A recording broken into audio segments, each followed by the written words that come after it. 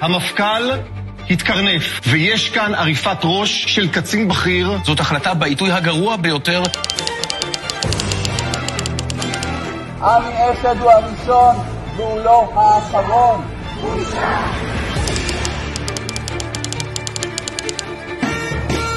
הוא הפקיר את אחד ממפקדיו מדמם בשטח, במקום להוות חומת מגן ולהגן עליו מפני השר. המפכ"ל עכשיו, בפעם הראשונה, במשבר חוקתי. בהחלט פרומו למה שיהיה כאן.